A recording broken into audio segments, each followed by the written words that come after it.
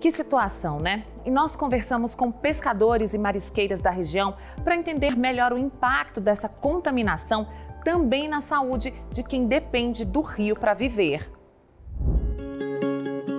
Um dos problemas que mais preocupam o MPF é a suspeita de que a contaminação já esteja causando graves problemas de saúde às mulheres que ficam três ou quatro horas dentro do rio para pescar ou extrair mariscos, como no caso da pescadora Ana Paula, que acredita ter contraído por meio dele uma grave bactéria que resultou na retirada de seu útero.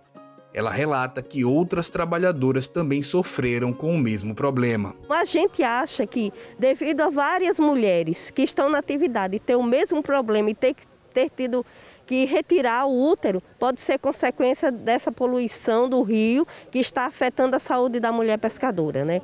Na audiência, representantes das mais de 300 famílias de pescadores e marisqueiras deram o próprio testemunho nossa reportagem conversou com alguns deles no dia seguinte ao encontro e ouviu como a poluição no Rio Santo Antônio se agravou rapidamente nos últimos anos. Não fazia medo você se alimentar de nada aqui do, do Rio, né? mas há muito tempo para cá, não é de 5, 6 anos, é muito tempo, há 15, 20 anos para cá, as coisas vêm piorando. E principalmente para quem vive do rio, sobrevive do rio. Até ostra está morrendo. Até você vai tirar a ostra, a ostra é tudo morta onde a gente vai poder, pode tirar as tudo morta, aberta. Com medo de me contaminar, preciso trabalhar, tenho filhos e assim é, responsabilidades a fazer, então eu tenho medo de me contaminar e fique acamada, né?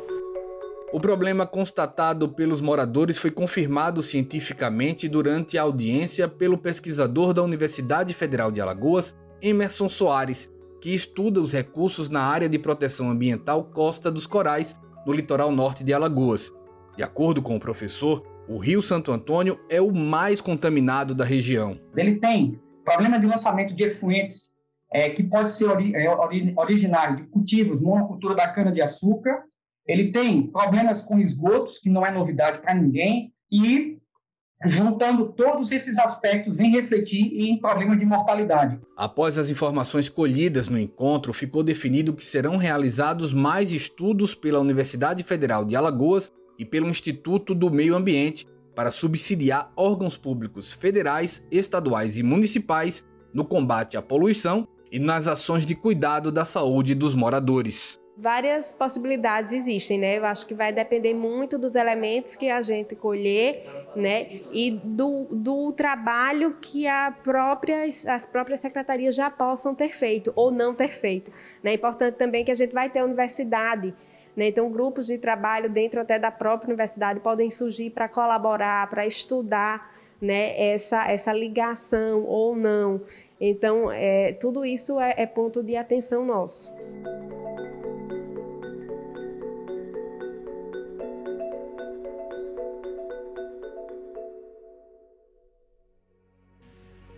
Depois do intervalo, a ocupação de um terminal de ônibus abandonado em Florianópolis por indígenas caigangues e a luta de cinco anos do Ministério Público Federal em Santa Catarina para a construção de uma casa de passagem para eles.